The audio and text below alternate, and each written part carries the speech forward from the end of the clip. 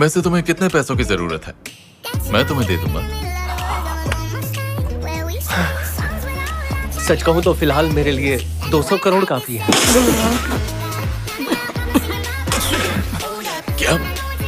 मुझे 200 करोड़ चाहिए। इतने सारे पैसों को क्या करोगे तुम? पिछले कुछ महीनों में मैंने वो क्रिप्टो करेंसी स्टॉक्स घोड़ों की रेस पर काफ़ी खर्च कर दिया।